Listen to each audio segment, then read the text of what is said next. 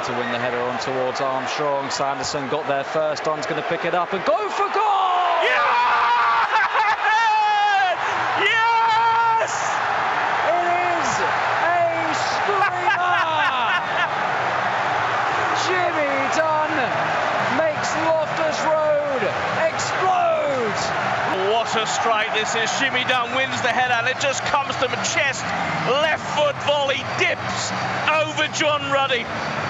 What a strike! He wins the first header, Jimmy Dunne wins the first header, continues his run, picks up the second, chest, bang, yes! Well, what a way to get your first goal of the season. And if it is to be a winner, then what a way to score it.